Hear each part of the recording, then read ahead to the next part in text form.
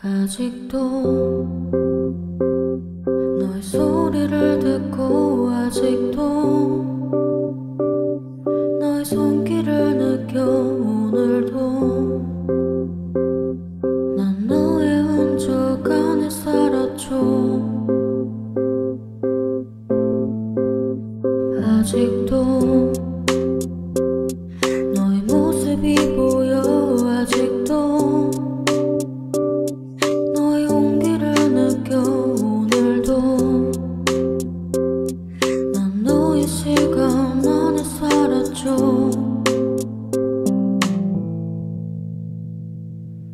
길을 지내는 어떤 낯선